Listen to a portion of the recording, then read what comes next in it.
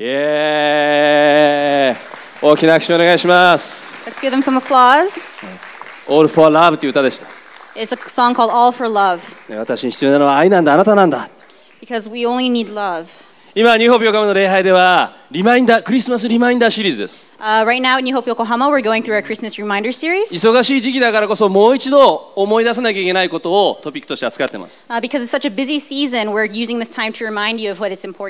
日は僕の大好きなテーマ、愛です。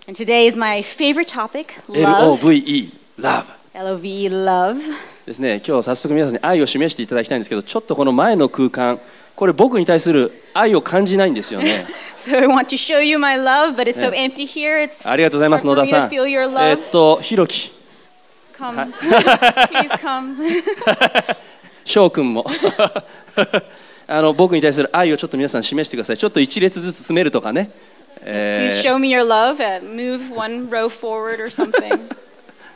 ありがとうございます。愛を感じます。もうこれだけで今日のメッセージ十分です。ぜひですね、後から来られる方もいるので、ちょっと後から来るとね、前って入りづらいので、ね、少しずつ前詰めていただけると感謝です。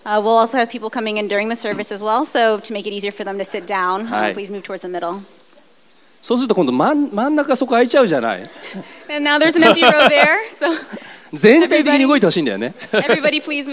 はい、ありがとうございます。前っていうのはね、僕のあの靴歯がかかる恵まれたシーズン、あの奇跡あの席ですからね。It's, if you're in the front, you get all the blessings, so さあ今このクリスマスのシーズンロマンチックな音楽色とりどりのイルミネーションクリスマスのデコレーション飾られてます So during this Christmas season, you have romantic music, all the beautiful lights, all the beautiful decorations でそう everywhere. いう甘いこの雰囲気の中でですねえ恋人たちはもちろんクリスマスシーズンというのは誰もが愛するっていうことね愛ということをまあ意識するシーズンだと So in this very sweet atmosphere during the Christmas season, I think not only dating couples, but everybody kind of thinks about love. 実はここだけの話僕が初めて好きな女の子に告白した日もクリスマスでした So this is just a secret here, but the first time I told a girl that I liked her was also in Christmas. ロマンチックですよね Aren't I so romantic? でも本当に愛するというのはどういうことなんでしょう But what does it really mean to love?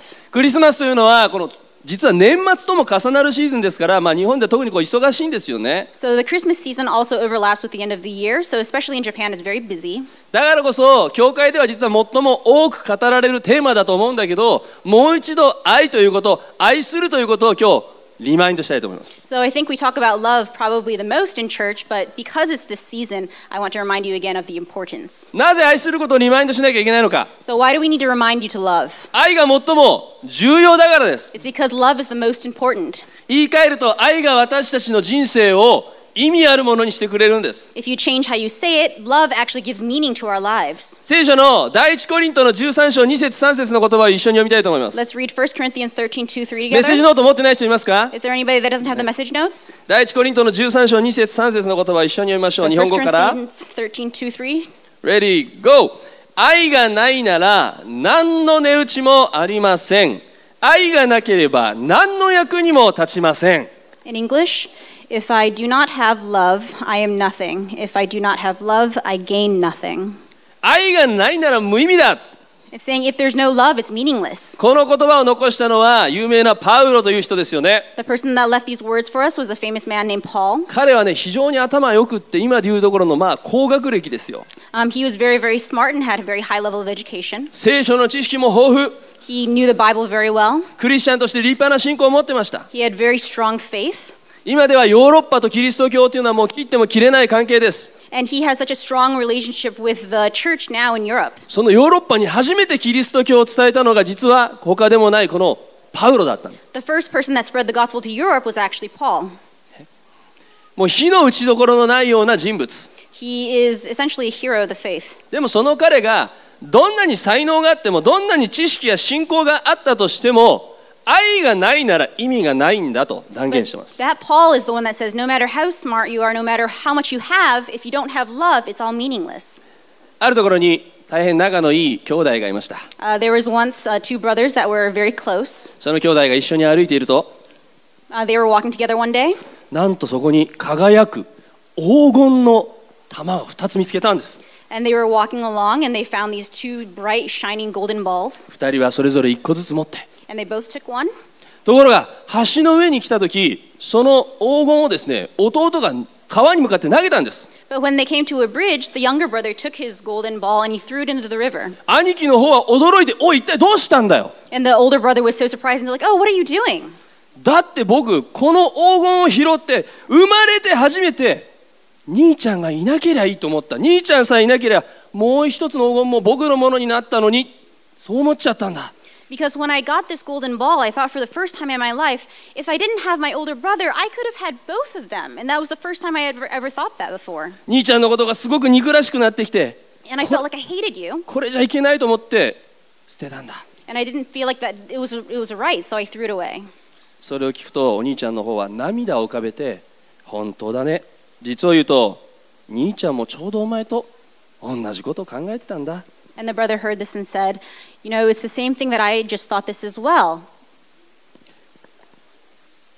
こんな黄金を拾ったばっかりにもうちょっとで僕もうちょっとで僕たちはもっと大切な宝を失うところだったね Even though we were able to find these golden balls, we were about to lose what was, some, what was even more important. そう言うとお兄ちゃんもその拾った黄金を川に向かって投げ捨てました And the older brother also took his golden ball and threw it into the river.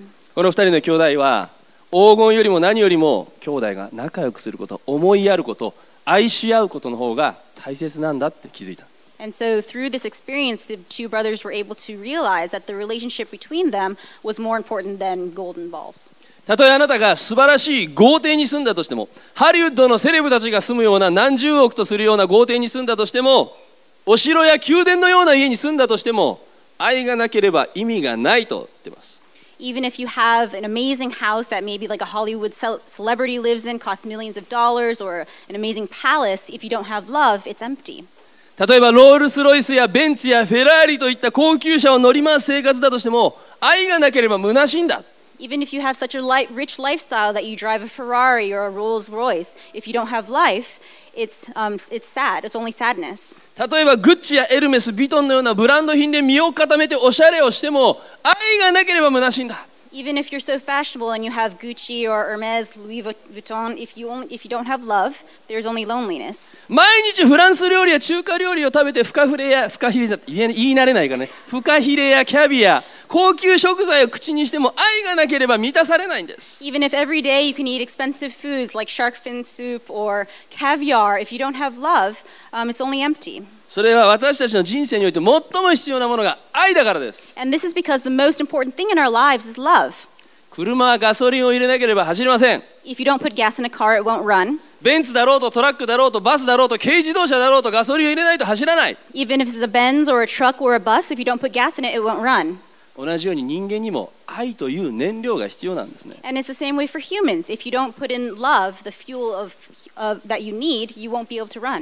イギリスの詩人の言葉でこういう言葉があります Um, there is a English poet that said this: 互いに愛し合わなければならない "We must love one another. そうでなければ私たちは死んでしまう If we don't do this, we will die. 体が死ななくても心が Even if not our bodies, our hearts." もうすでに多くの人が気づいていることですが私たちの人生に愛はなくてはならない I think many of you have noticed it by now, but you have to have love in your lives.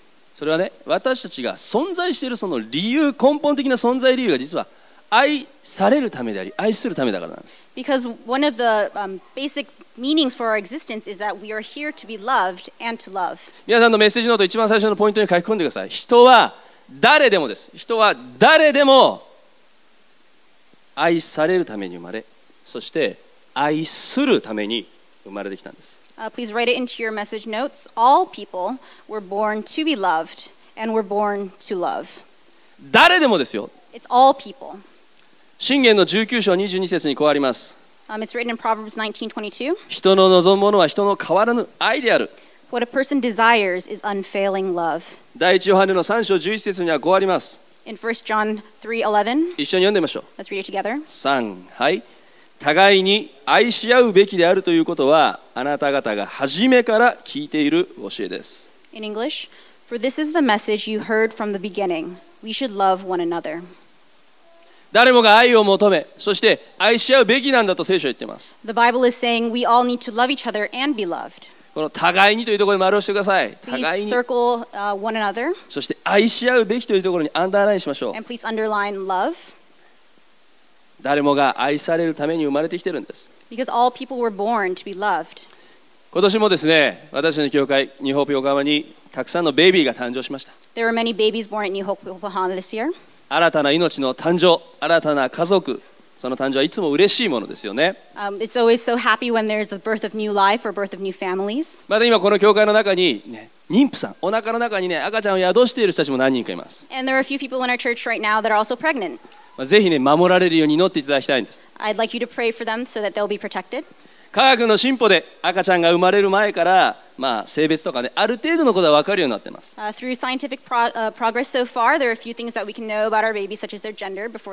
個人的にはね、生まれる前からあまり性別とか僕は知らない方がいいんじゃないかななて、僕は楽しみにして最後まで待ってた方なんですけど。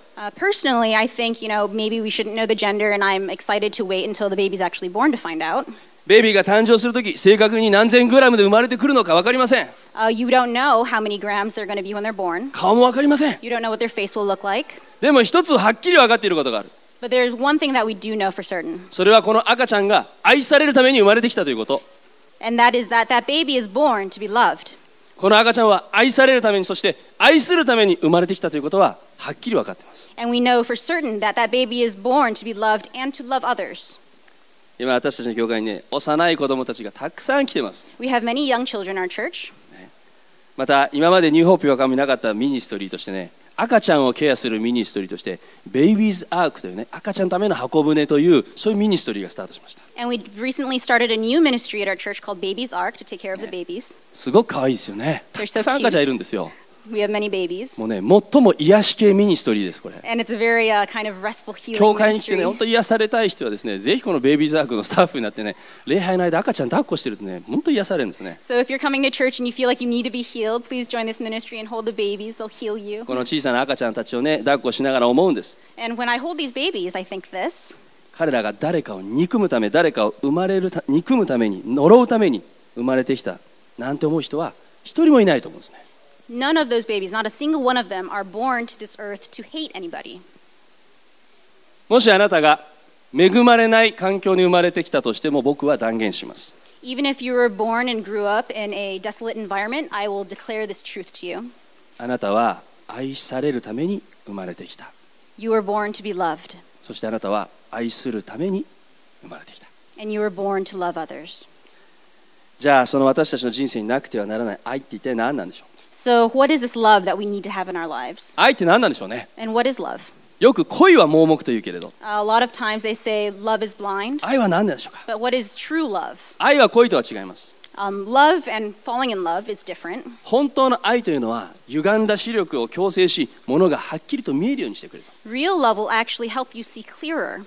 愛は全体を見渡しながらその中から大切なものが何かを見分けることができる And through love, as you look at everything, you are able to define what is most important. 愛について歴史上で多くの人が、まあ、文章や歌いろんなアートであるいは映画などさまざまな形で愛を表現してきました There are many people throughout history that have used art or music or even movies to try to uh, display what love is. 愛について語り出したらね、もうこの礼拝の時間だけでは足りないと思うんですね。一晩中でも僕はこの愛について語れる。僕の妻の名前も愛。僕の母親は愛子。And my mom's name is also Aiko, Love. 僕の4人の娘は全員愛という漢字が入っている And all four of my daughters, they have the character Love in their 3 names. 世代にわたって僕は女性の愛に囲まれてるんです、So for three generations, I'm surrounded by love. ね、愛って何でしょ And so, what is love? うまず第1番目書き込んでください so please write in the first one 愛というのはありのままを受け入れることです accepts you just as you are. ありのままを受け入れることですこれはアガペの愛と言われる愛です And this is um, known as agape love. 聖書のイザヤ43章4節僕の大好きな言葉ですが一緒に読みたいと思いま Let's す read Isaiah 43 4 together. Ready, go! 私の目にはあなたは高価で尊い私はあなたを愛している In English, you are precious to me and honored, and I love you. これは神様が私たちにあなたに向けている言葉です This is what God is saying to each one of us. あなたはそのままで素晴らしいんだそういう愛です This is a love that is saying, You are wonderful and perfect just as you are. 実は新約聖書が書かれたもともとのこの言語のギリシャ語ではですね愛という言葉はいくつかの言葉で訳されているんです So the original language that the New Testament was written in was in Greek, and there were three different ways of describing love. 日本語だと愛というのは一つになっちゃいますけどギリシャ語だといくつか種類があるんですね In Japanese, we only have one word for love, but in Greek, 例 there え were ば一つは.エロスという愛がありま The す first one is eros. まあよくねなんかポルノ雑誌とか変ないかがわしい感じの言葉で使われる表現になっちゃいましたけど本来はそういういやらしい意味じゃなくてね男女の愛の意味なんです So now the word eros is, you know, associated with pornography or different kind of dirty things, but originally it didn't have that kind of meaning to it. It actually meant romantic love. 夫婦関係の間ではこのエロスの愛男女の愛はとても重要なものです So this romantic love is very important in a spousal relationship. 素晴らしいコミュニケーションをもたらしてくれます It helps you have good communication 夫婦の間に新しい命をもたらしてくれます。二つ目はフィレオという愛です。The second type of love フィレオ。フィレオ。フィレオ。ね。某ファーストフードショップのあのバーガーじゃないです。これはね、兄弟愛ですよね。So、this is a brotherly love. 例えばあのフィラデルフィアという名前の町がありますけど。In the US, there's a city called Philadelphia. これはもう兄弟愛の町ですよね。So it means it's a city of. 幼なじみの関係というかね親しい友人の関係兄弟愛友情の愛これがこのフィレオなんですね So this kind of brotherly love is like your uh, friendships with when you were young, or good friends, or brotherly love with your siblings. そして3つ目にアガペーという愛があります。Thirdly, これは無条件の愛、無償の愛と言われるものですね。あるいは無限の愛。And it has absolutely no、limits. ありのままを受け入れてくれる愛です。Just as you are. 神様が私たちに向けている愛というのはまさにこのアガペの愛なんですね。先ほど読んだイザヤ43章4節の言葉は私の目にあなたは高価でたとえ私はあなたを愛しているというのは金持ちだけ特別な人にだけ向けられている言葉じゃないんです So the words that God is saying to us through Isaiah 43:4, "You are precious to me and honored, and I love you." These aren't only for people that are rich; they aren't only for peop certain peoples. 外見とか容姿とか学歴肩書き持っているものとかに関係なく全ての人にあなたに向けられている言葉です It's not based on your appearance or education, labels, anything like that. These words are for everybody. 何か立派なことをしたから愛される価値があるということじゃないんです。あなたのそのままが素晴らしい効果だよという、そういう愛ですね。2番目に愛というのはね、犠牲を払うということなんです。犠牲を払う。So、the second meaning of love is, love is paying the sacrifice. 葉亭使命という作家がいるんですが、いましたか、um, there is. この双葉亭使命という作家は愛という言葉をあなたのためなら命を捨ててもいいと訳したんですね And this author translated love to mean, I would throw away my life for you. ね名訳だと思いますね And I think this is very amazing. 愛というのはあなたのためなら命を捨ててもいい Love means that I would throw away my life for you. 聖書も本物の愛というのはそういう命がけの犠牲の伴うものなんだと教えてます Uh, the Bible also teaches us that this love is something that comes along with sacrifice.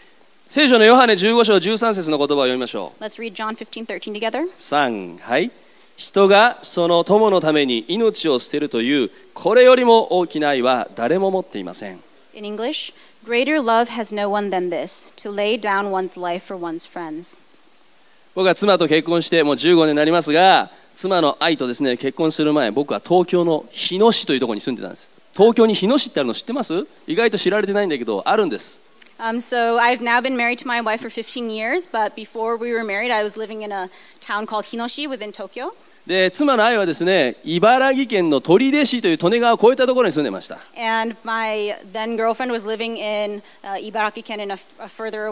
それぞれその地域の教会で、まあ、働いてたんですね。デートはまあ週に1回会えるか会えないかという感じ。僕は22歳でここうあのプロポーズしてですね。22歳でプロポーズしたんですねで23歳で婚約したんですけど I proposed to her when I was 22 years old, and uh, we got engaged when I was 23. まあさっきも話したですねその婚約指輪を買うお金もないような貧乏牧師でした And I talked about it earlier, but I was a poor pastor then, so I didn't have money to buy a ring. お金を貯めるにためにお金を貯めるために何をしたのか So, what did I do in order to save money to buy a ring? まずやったのは毎日の食費のコストダウンですよね So, the first thing I did was to save on my budget for food. コストダウンというかもう食べない本来の、ね、断食の意味と異なるんですけど、しばしば、まあ、断食せざるを得なかったわけです。そうやってお金を貯めてきました。And so、I saved money that そしてデートの時、茨城にいる彼女に会いに行くためにですね、僕はお金をセーブするために自転車で行きました。冗談です。スクーターで行きました原付で行きました I went on my scooter. 原付で行ってもねでもね片道3時間かかるんだよ But even if you go by your scooter, it takes three hours each 往復 way. 6時間だよ So going back and forth is six hours. 必ず途中で給油しないといけないんだから And you have to get gas on the way. 雨の日はレインコートを着て3時間 And when it's raining, you have to wear a raincoat for three hours. スクーターだからね30キロしか出せないんだよね And because it's a scooter, it'll only go three, 30まあ kilometers. それでも電車で行くよりはるかに安かったんです But it's so much cheaper than going by ま train. あそうやってお金を貯めてねまあさっきも話した指輪をなんとかプレゼントしたんですね So I saved money this way and I was able to buy a ring. 辛かったと思いますこれ Do you think that this was hard for me? 辛くないんですよ It wasn't. ね愛する人のために犠牲を払うって大きな喜びなんです Because actually, when we're sacrificing for somebody that we love, it's actually joyful for us. 雨の中ねスクーターで3時間乗ってんのも喜びなんですよ Because even when you're riding on a scooter in the rain for three hours, this is joyful. 神様は私たち一人一人を愛していると言ってますね God says He loves each and every one of us. あなたはそのままで価値があるんだと言ってま He す says to you, You have value just as you are. だから一人子イエス・キリストを送ってくださって私たちの身代わりに十字架につけたんだと言います And that's why He sent His only Son, Jesus, to the earth to die on the cross for us. 私たちのことを愛してくださっているから神は大きな犠牲を払ってくださった Because He loves us, He paid the great sacrifice for us. 3番目に愛というのは人の心を力づけます The third point love imparts strength そして人の心に喜びを与えあるいは慰めを与えてくれるものです and it ね imparts joy and encouragement. 第一ヨハネの4章18節の言葉を一緒に読みましょ Let's read 1 John 4:18 together. うか3はい愛には恐れがありません全き愛は恐れを締め出します There is no fear in love, but perfect love drives out fear. そしてピレモンの1章7節の言葉も読みたいと思いま Let's す also read Philemon 1:7. 3はい私はあなたの愛から多くの喜びと慰めと受けました In English, your love has given me great joy and encouragement. 愛というのは私たちの心を力づけ励まし喜びを与え慰めを与えてくれます Love will give um, us strength and joy and encouragement. ある大学で社会学を学ぶ生徒たちがボルチモアのこのスラム街に住むですね、まあ、少年200人を対象に一人一人のまあ家庭環境生い立ち調べたんです調査したんですね Um, so there were some students that were studying sociology at a university, and they were in Baltimore. So they did a study where they went into um, 200 homes uh, in the slum to research their environment, what, the, what their lives were like. そしてこのスラム街200人の少年たちの調査をした結果をもとに彼らの将来性についてのレポートを作成しました So, based on the results of these surveys of these 200 youth, they wrote a report related to their future potential. するとどの学生もこの少年たちには何の将来も期待できないだろうと書いたんです And all of the students that participated in the research, they all wrote that none of these youths had any potential for a good future. それから25年経った後ある社会学の教授がこの時の調査研究を見つけて当時のあの少年たちは今どうなったんだろうかと気になって調べたんです And 25, af- 25 years after that, some sociology professors found that original report and became very curious and wondered what happened to all of those 200 youth that they researched originally. まあそのうちの何人かは引っ越していたりあるいは亡くなっていたりして、まあ、100 200人のうち20人は除いてですねそして180人ですよね。180人のうち176人がいいですか？あの200人の少年たち。176人が弁護士医者ビジネスマンとしていわゆる人並み以上の成功を収めてたんです。So, out of those original 200 people, there were about 20 that had either moved away or had died. But of the remaining 180 people, 176 of them actually became successful lawyers or doctors or businessmen. So, they were actually successful, more successful than the average person. これ驚きですよね And this is very surprising, isn't it? 25年前この少年たちは何の将来もないって思われてた子たちがほとんどが成功を収めてたんですよ So the majority of these people or these youth that people thought had absolutely no chance for a good future were actually highly successful. 教授はますます興味そそられてさらに詳しく調べました And so this professor was very, very curious about this result, so he continued to research. この教授は自らその一人一人に会いに行って質問したんです And he went directly to each of those people and he asked them these questions. あなたを成功に導いたものって何なんですか What led you to success? すると誰もが共通してある一人の先生の名前を挙げました answer, その女の先生のところに今度はこの教授会いに来ました。かなり年は取っていましたが、シャンとした先生でした。そしてこう尋ねます。あの貧しいスラム街からあんなに大勢の成功者が出るなんて驚きました。I was so surprised that there were so many successful stories coming out of a slum. あなたは一体どんな魔法を使ったんですか What kind of magic did you use? その先生はパッと顔を輝かせてそして口元に微笑み浮かべながらこう答えたそうです And so the teacher brightened and had a smile on her face and answered like this とっても簡単なことです It's very, very simple. 生徒たちを愛したんです I loved the students. 私は生徒たちを愛したんです I loved the students. 愛が人を変え人を力づけ喜びを与え励ましたんですね Because love changed them and he gave them strength, gave them joy and encouragement. 今愛について3つのことを見てきました So we saw three, we just talked about three things about love. でも愛がどういうものなのか知識として知っているだけでは何の意味もありません But even if we only understand about love in our minds, it doesn't have any meaning. 今度は私たちが愛するものになっていく愛に生きるものに変えられていくことが必要です Um, so now we need to be able to love others, be people that are able to love. 今度は私たちがじゃあ愛するものとなっていくための3つのことを話します So we'll now talk about three things in order to become somebody that can love. まず1つ目ですこれは皆さんにねショックを与えるかもしれません Uh, the first point might be a little bit shocking い to や you. そんなことはないって言い張るかもしれない You might think, no, no, no, that's not true. でも言います書き込んでください But I will write it, or I will say this, so please write it down. 自分には愛がないことを知る Know that you do not have love. これショックですね Isn't this kind of shocking? あなたには愛がないと言われたらショックですよね If somebody says you don't have love, いやいや um, そんなことない?私にちょっとぐらいはありますよ2ミリぐらい No, no, no, I have love just a little bit, maybe like two milliliters. パウロがコリントにある教会に送った手紙の13章に愛というものがどういうものか、まあ、詳しく書かれています Um, in the letter that Paul wrote to the Corinthians in chapter 13, it writes in a lot of detail about what love is. まあここは愛について詳しく書かれているのでよく結婚式で読まれる聖書の箇所です So, ね、since it talks about love in such detail, it's often used at weddings. まあ、その愛の章の一部を読んでみたいと思います。Uh, let's read part of it together. 第一コリントの13章4節から8節。1 Corinthians 13, 4 to 8. 3はい。愛は寛容であり。愛は親切です。また人を妬みません。愛は自慢せず高慢になりません。礼儀に反することをせず自分の利益を求めず怒らず人のした悪を思わず不正を喜ばずに真理を喜びますすべてを我慢しすべてを期待しすべてを耐え忍びます愛は決して耐えることがありません In English, love is patient, love is kind.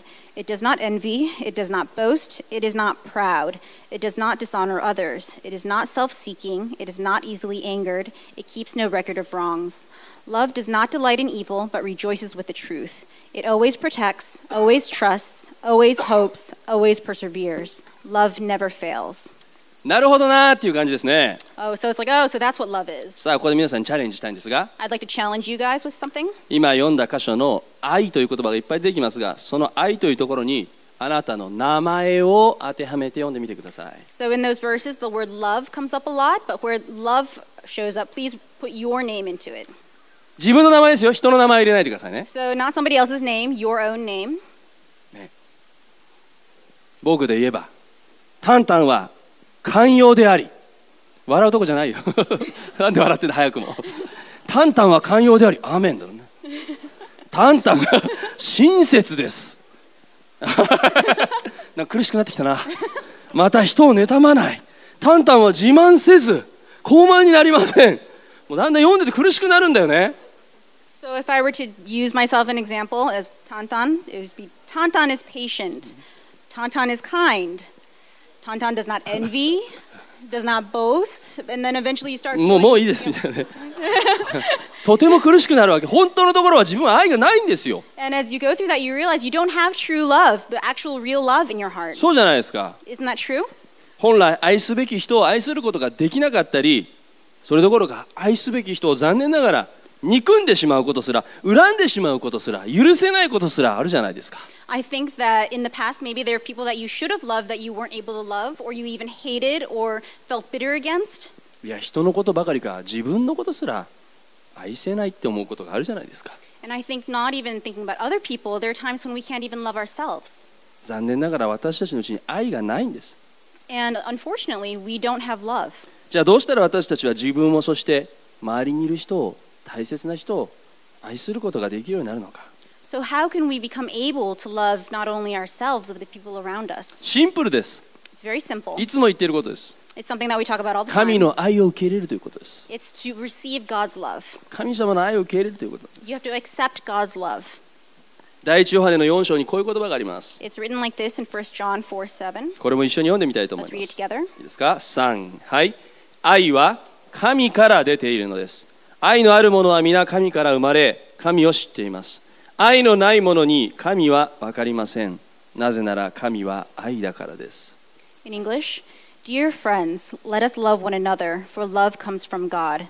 Everyone who loves has been born of God and knows God. Whoever does not love does not know God, because God is love. 愛はどこから出てるんですか Where is love coming from? 愛はどこから出てるって言われてますか And where does it say love is coming from? ひろき神からですよね Yes, it's from God. 愛はどこから出てるんですか？Where is love from? ショーそうなんですよ From God. 愛はどこから出てるんですか？のりちゃん Where is love そうなんですよ from? 神様からですよ From ね God. 愛はどこから出てるんですか？まみこさんそうなんですね from. えーもう皆さん寝てらんないですよ So you can't sleep, I might call on you. 愛は神から出るとあります。神様の愛は先ほども言ったように愛、アガペの愛、無条件の無償の無限ないです。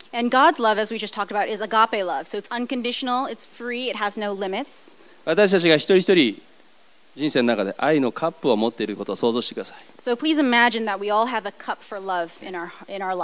そのカップの中から家族、ね。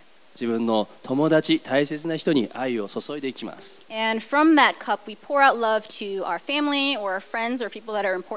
するとだんだんその愛のカップから愛が減っていくわけですよね。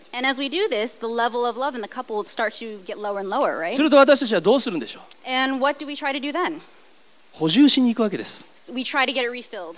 野田さんちょっと僕に愛を与えてくださいって注いでもらうんですよね。ありがとう愛してくれてってね。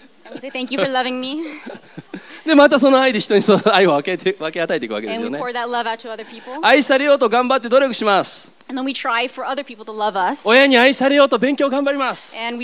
Study, so、職場に人々に愛されようと認められようと頑張ります。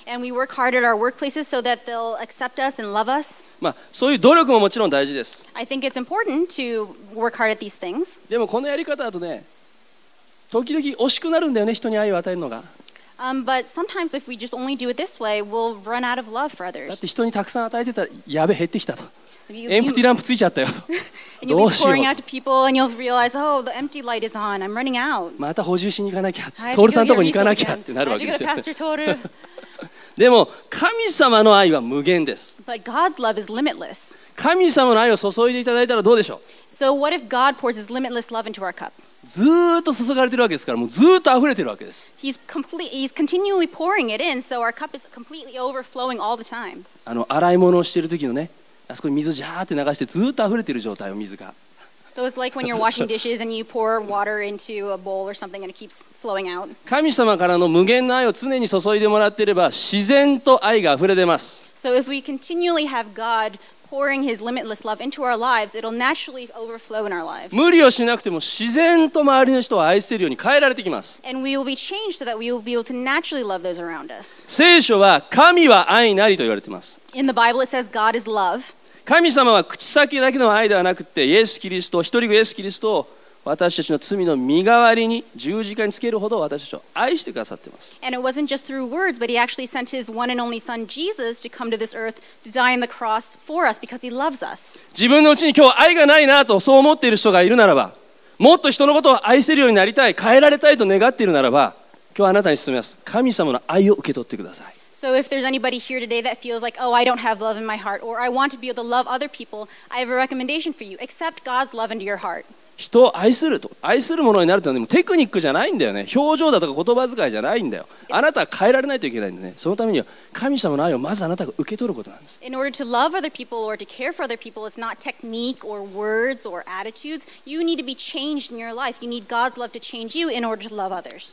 あなたがまず神様の愛を受け入れるならば自然と愛を流すものになっていくでしょう。So when you first experience God's love, you'll be naturally changed so that you can love others around you. そして私たちが愛するものとなっていくためには愛を今度は表現していくんです And in order to be able to love, become people that can love, we need to show love. まあ、特にこれ日本人は苦手な分野かもしれないけど愛をね恥ず恥ずかしがらずにぜひ表してください This might be a little bit difficult in the Japanese culture, but we need to be not embarrassed and we need to express love. 昔ドイツにですねフレデリックという王様がいたんですね There was an, emperor in Germany a long time ago named Frederick, でこの王様はかなり怖い王様として有名でした and he was very famous for being a very scary emperor. でこのフレデリックという王はキングはですねある時妙なアイディアが浮かんでしまったわけです And this Emperor Frederick one day had this very strange idea. それは何かというとね人類が人間が生まれてきて一番最初に発する言葉って何なんだろうって気になったんです And he thought, when people first came on the earth, what were the first words? What was the natural language that they used? 人類がですよ人類が一番最初にどんな言葉を言うんだろうか It's the human race. What, what's the natural language of the もう human とにかく race? 気になって気になって夜も眠れない And so he was so curious about this, he couldn't sleep at night. で彼時ある彼はある時決心してね実験をするんですね、And one day he decided he was going to do an experiment. まあ、とにかくお金と権力持ってますから無人島にですね保母さんとお医者さんを送り込んでさらにその島に100人以上の生まれたばかりの赤ちゃんを送ったんです So he had a lot of money and authority. So he um, sent nurses and doctors to a uh, unpopulated island and also sent 300 newly born babies to that そして island. この王はこの医者と保母さんに一つのことを命令しました And he had one command for the doctors and the nurses. 絶対に声をかけちゃいけないよ He said, You cannot talk to any of the babies. 何があっても声はかけるな Do not talk to them at all. 泣いてもわめいても No matter if they cry, ただ一日3回食事だけを与えてくれ the only thing that you need to do is feed them three times a day. そういう状況の中で一番最初に発する言葉こそがまさに人類が最初で発する言葉に違いないと思ったわけですね So we thought if it, we're in that situation and that nobody's speaking to the babies, the first words that they speak must be the natural language of human beings. 1日3回食事は出てます And so they fed the babies three times a day. さあこの赤ちゃんどういう言葉を発したでしょうね So these babies, what were the first words that they said? 赤ちゃんは声を発するどころか実は全員亡くなったそうです So they didn't even speak. They actually all, 300 babies, all died. 私たちは声をかけてもらえない状態つまり愛を表現されないでいる時というのは生きていけないんです So when we don't have anybody that speaks to us or we don't have somebody that shows love to us, we actually can't live. 私たちには愛の触れ合い、愛のあるコミュニケーションが必要なんです。愛というのは古今東西、いつの時代にあっても私たちを満たしてくれるものです。ぜひですね、あなたの大切な人に、あなたの大切な家族に、仲間や友人にですね、愛を表してみてください。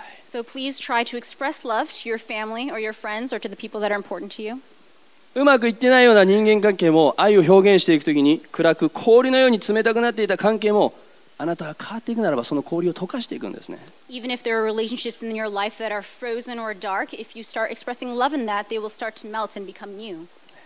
言葉でありがとう、ごめんねを伝えてみてください。Try ご飯を作ってくれてごちそうさま、おはよう、こういう当たり前の挨拶を大切にしてください。And please put a lot of importance on, you know, everyday phrases like, oh, thank you for making dinner or good morning. 表情もできるだけにこやかにスマイルで And please make a smile on your face. ちょっと今隣の人向いて練習してくださいどこの誰か分かんなくてもいいです So please look at the person next to you and practice. It doesn't matter if you don't know them. 両隣です Smile. よ Smile. 両隣の人にスマイル向けてくださ Please smile at the person next to you. いいいですよね Isn't it nice? そして相手の話をよく聞くという態度も大事にしてください。相手のね、素晴らしいところをぜひ見つけてください。宝探しのように相手のいいところを探してみてください。もう僕の妻は天才的に僕のことをいつも褒めてくれます。Uh, my wife is like、a genius. She always compliments me. キャータケちゃんかっこいい。It's タンタン you're so! そのユニクロのシャツがすごい似合ってる。そんなにユニクロを着こなせる人を見たことがない。そこまで言わないですけど、でもいつも僕のことをたけちゃんかっこいいと褒めてくれます。相手の素晴らしいところを探してください。もしどこも褒める材料がなかったとしても、Even if you can't find something to compliment, でもあなたがいてくれて嬉しいよって伝えてください please say to them, I'm so happy that you are here. 存在が喜ばれることほど嬉しいことはないじゃないですか I think there isn't anything that is happier than being told, I'm happy that you exist. 今隣の人に言ってみてくださいあなたがいてくれて嬉しいって言ってみてください Uh, please say to the person next to you, I'm glad you exist. はい、私たちの人生はいつ終わるか分かりません、We don't know when our lives will end. ね、台風だったり地震だったり世界中でそういういろんな災害が起こってます All around the world, there are continuing to be typhoons and earthquakes and other natural disasters. 自分の予想もしないような形で大切な人の命が奪われていくということがあります And it's possible that your loved ones will actually be taken away from some, by something that you've never even imagined. 失ってからでは遅いんですよね And once they're gone, it's too late. 今まで何度か礼拝で紹介してますが最後に一つの大好きな詩を紹介したいと思います Uh, we've brought this up in many sermons before, but I'd like to introduce to you my, one of my favorite poems. あの3.11の後もいろんなところで読まれた詩です Um, this is a poem that was read in a lot of places after the uh, March 11th earthquake as well. もし分かってさえいたらというタイトルの詩です Um, it's a poem titled If I Knew. もしぐっすりと眠っているあなたを見ることができるのがこれで最後だと分かっていたら私はもっとしっかり毛布に包んであげ神様にあなたの祝福を祈っただろ If I knew it would be the last time that I'd see you fall asleep, I would tuck you in more tightly and pray the Lord your soul to keep. うもし外出するあなたを見るのが最後だと分かっていたら私はあなたをしっかり抱きしめキスをし出かけるあなたをもう一度呼び止めもう一度しっかり抱きしめたことだろ If I knew it would be the last time that I would see you walk out the door, I would give you a hug and kiss and call you back for one more.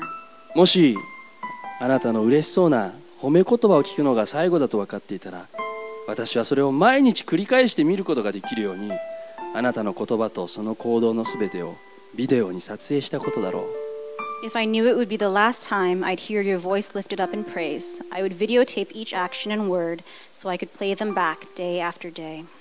将来の道を考えるための明日はきっとあるし きっと来ると考えているし全てをやり直すための明日はきっと来るはずだと私たちは考えている For surely there's always tomorrow to make up for an oversight, and we always get a second chance to make everything just right. 愛しているよと言える別の日が必ずあるだろうまた何か手伝いましょうかと言える機会がまたきっとあるのだと思う There will always be another day to say, I love you, and certainly there's another chance to say our anything I can do. しかし万一それが間違いだったら私があなたをどれほど愛しているかを伝えることができるのは今日しかないのだそのことを決して忘れないようにしたい But just in case I might be wrong, and today is all I get, I'd like to say how much I love you, and I hope we never forget. 若者にもそうでない者にも 明日という日は約束されているわけではない。だから今日こそあなたが愛する人をしっかり抱きしめることができる。最後の機会かもしれないのだ。Tomorrow is not promised to anyone, young or old alike, and today may be the last chance you get to hold your loved one tight. だからもしあなたが明日でいいやと思っているようなら今日のうちに実行してみたらどうだろう。もしかしたら明日は来ないのかもしれないしそうなったらきっとその日あなたは後悔することになるだろうから So if you're waiting for tomorrow, why not do it today? For if tomorrow never comes, you'll surely regret the day. 笑顔を見せることしっかり抱きしめるためのほんのわずかな時間相手があなたに求めている唯一の最後の願いだったかもしれないそれらのことを今はそんなことをしている暇はないと無視してしまったらきっと後悔することになるだろう That you didn't take that extra time for a smile, a hug, or a kiss, and you were too busy to grant someone what turned out to be their last wish. だから今日愛する人をしっかり抱きしめようそして耳元でささやこう愛していることをいつも大切な人だということを So hold your loved ones close today and whisper in their ear. Tell them how much you love them and that you'll always hold them dear. ごめんなさい 許してねありがとうと時間をとって伝えようそうしておけばもし明日が来ないとしても今日この日に後悔することがないだろうから Take time to say, I'm sorry, please forgive me, thank you, or it's okay. And if tomorrow never comes, you'll have no regrets about today. 素敵な詩だと思いませんか Isn't this a wonderful poem? 僕はいつもこの詩で教えられ感動しますクリスマスというのは神の御子が人となって来てくださったことです。神の愛が見える形を持って私たちに示されたのです。God's love became Jesus and became into a shape that we could see, and he showed it to us. 行動を持って犠牲を持って愛が示されたんです And through action and through sacrifice, he showed us his love. それがクリスマスです And that is Christmas. このクリスマクリスマスシーズンの今あなたが愛を伝えなければならない人は誰でしょ During this Christmas season, who do you need to express your love to? う神の愛があなたに注がれあなたの愛となりそしてその愛が溢れ出て あなたの大切な人に注がれていきますように Um, please be filled with God's love so that you will be able to pour out that love to the other people around you. お祈りしましょう Let's pray.